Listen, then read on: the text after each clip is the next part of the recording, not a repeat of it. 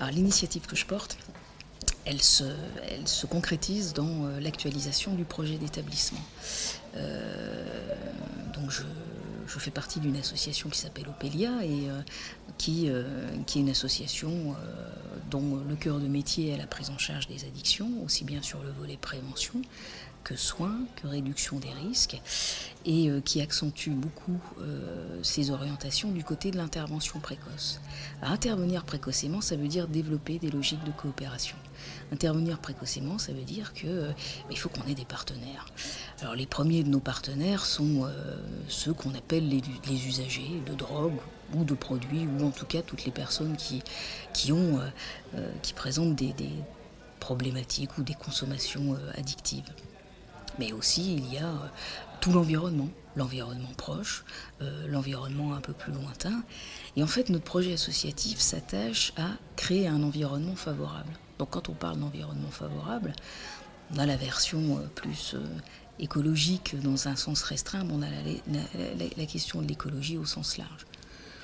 Donc on travaille notre projet d'établissement en déclinaison du projet associatif et avec cette idée euh, d'associer évidemment les usagers et d'associer les partenaires pour mieux diffuser la prévention, pour mieux diffuser le soin et surtout pour permettre d'y accéder le plus rapidement. Pour ça, on sait qu'il euh, faut qu'on s'acculture, il faut qu'on s'approprie un certain nombre de, de, méthodes, puis avant même ça, euh, de concepts et d'objectifs. Et du coup, euh, on travaille déjà avec les usagers sur des commissions qu'on a créées à l'interne. À titre d'exemple, on a ce qu'on appelle une, commission mixte, qui est composée de nos professionnels et, entre guillemets, nos usagers et du coup qui travaillent ensemble pour comprendre qu'est-ce qu'on pourrait mettre en œuvre, qu'est-ce qu'on pourrait améliorer, sur quoi on pourrait éventuellement innover. Et du coup, ça, on le réfléchit aussi avec nos partenaires, parce qu'on sait bien qu'on n'a de toute façon pas la solution, mais au-delà de la tautologie, on n'a en plus plus les moyens pour, pour les mettre en œuvre tout seul. Alors, on n'est pas simplement sur une adaptation à la contrainte, on est sur une réelle volonté de mieux faciliter le recours des populations aux dispositifs et à la prévention et à la réduction des risques et aux soins en matière d'addictologie.